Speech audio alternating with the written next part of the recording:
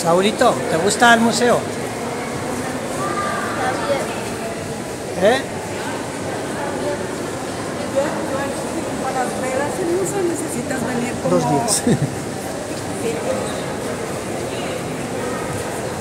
Mira qué cuadros, qué colores.